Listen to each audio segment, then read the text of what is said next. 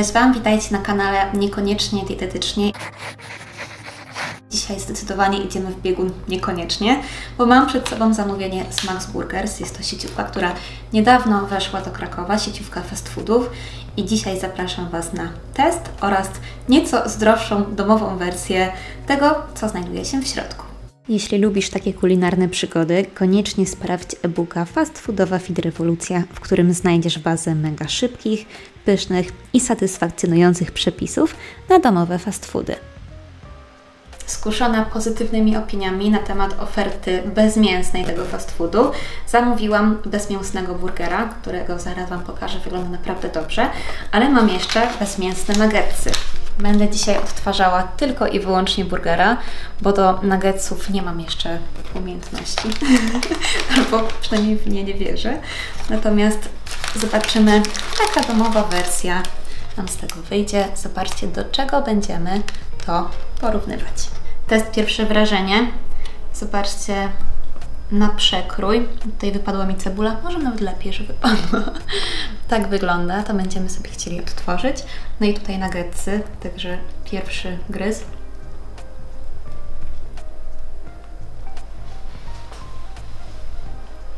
Mmm.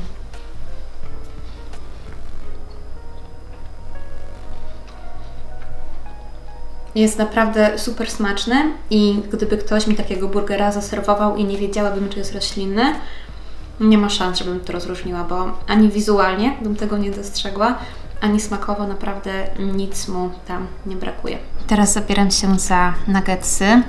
Zobaczymy, jak one wyglądają w przekroju. No faktycznie wygląda to, słuchajcie, mięsnie. I tak gruba panierka. Naprawdę zapowiada się dobrze. Sosik słodko-kwaśny. Lecimy.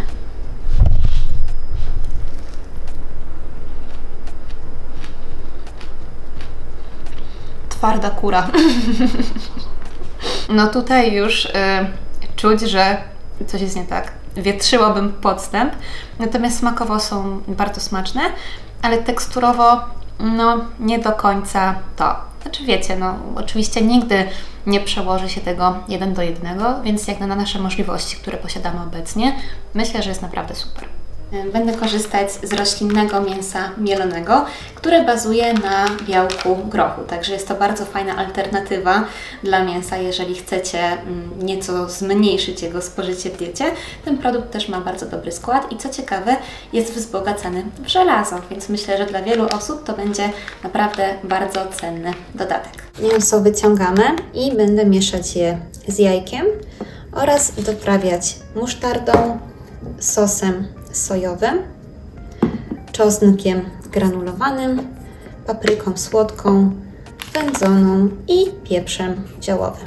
Powiem Wam, że to nawet pachnie jak mięso mielone, więc myślę, że fajna ciekawostka. Sos sojowy przyda się do mm, nadania takiej głębi smaku.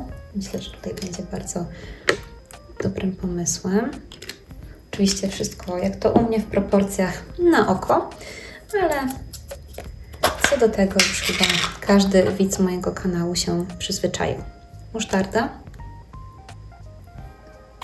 Taka ilość. No i teraz sól, pieprz i reszta przypraw. Burgery są już uformowane, zaraz będę smażyć je na oliwie. Taki protip, jeżeli chcecie, żeby było to jeszcze bardziej odżywcze, to możecie zrezygnować ze smażenia i postawić na nieco bardziej korzystną formę obróbki termicznej, czyli na przykład pieczenie. Rozpoczynamy proces smażenia. Rozgrzewam patelnię, troszeczkę oliwy, około łyżeczki. Smażymy z dwóch stron, a na końcu dorzucamy plasterek sera, tak żeby się idealnie rozpuścił.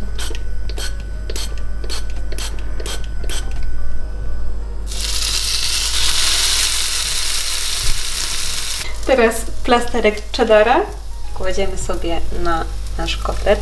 Najlepiej jest to przykryć pokrywką, żeby on tak równomiernie mógł się fajnie rozpuścić. Dajemy temu naprawdę krótką chwilkę. Teraz przede mną przygotowanie warzywnych dodatków. E, pomidora, czerwonej cebuli oraz ogórków kiszonych, a z racji tego, że jest to burger dietetyczny, to mamy też kiełki brokułu oraz szpinak zamiast sałaty lodowej. W międzyczasie opowiem Wam, dlaczego w ogóle fast food jest uznawany za coś, co nie sprzyja naszemu zdrowiu.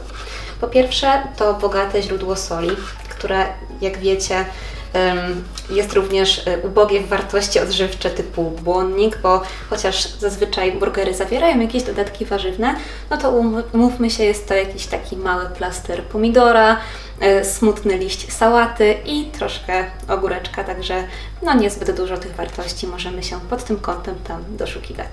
To także bogate źródło nasyconych kwasów tłuszczowych, tych tak zwanych odzwierzęcych, które powinniśmy w naszej diecie ograniczać do minimum.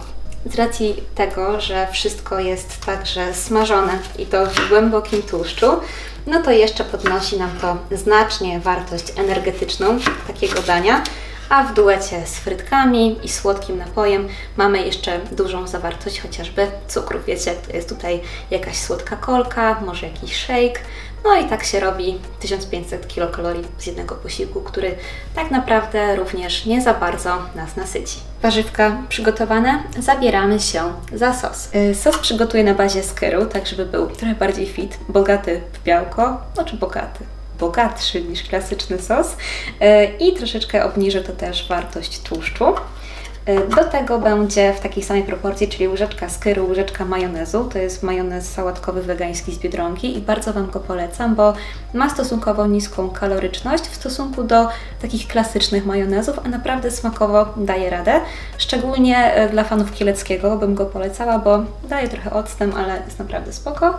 No i będziemy to mieszać też z połową łyżeczki ketchup. I z tej mikstury łyżeczka, łyżeczka, pół łyżeczki wychodzi nam coś takiego sos tysiąca wysp. I przechodzimy do najfajniejszego elementu, czyli do składania. Posmarowałam sobie już jedną część bułki sosem i teraz smaruję drugą. Teraz coś zielonego, tak żeby się działo. Możecie pourywać te końcóweczki ze szpinaku, to po prostu nie będą wystawać i będą bardziej burgero friendly. Zobaczcie tylko na to.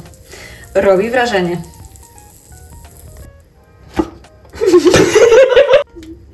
Teraz nasze mięsko i pozostałe warzywa.